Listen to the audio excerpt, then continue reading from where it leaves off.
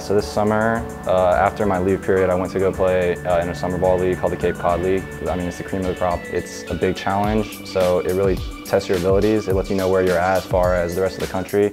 Um, you face the best of the best, so it's a lot of fun. It was a, it a really unique experience, I gotta say. Uh, I mean, I haven't played summer ball in a while now, uh, so going back up, it was a lot of fun. Probably the best part was the atmosphere of going up there. Uh, it was really like family-oriented environment, it felt like. As soon as we got the games rolling, I think it was easy for us to start clicking and playing together as a team. It, it is quite different, I gotta be honest. Um, you're there to get, your, to get what you need done. Um, you have your own routine, your own schedules, especially as a starting pitcher. Um, but yeah, I mean, coaches are really hands-off. They let you do your thing, they trust you to get your work done. And having a Division III pitching coach as our pitching coach, and he was really young too, um, he was really big on the mental game. And Coach Applegate, our pitching coach here, is really big on the mental game too, so it really clicked together, and I was able to kind of cross-reference a lot of the things that they were saying. There were some pre-game jitters, definitely, uh, warming up in the bullpen before my first start. That was, that was the most, I don't want to say nervous, but anxious I've been in a while.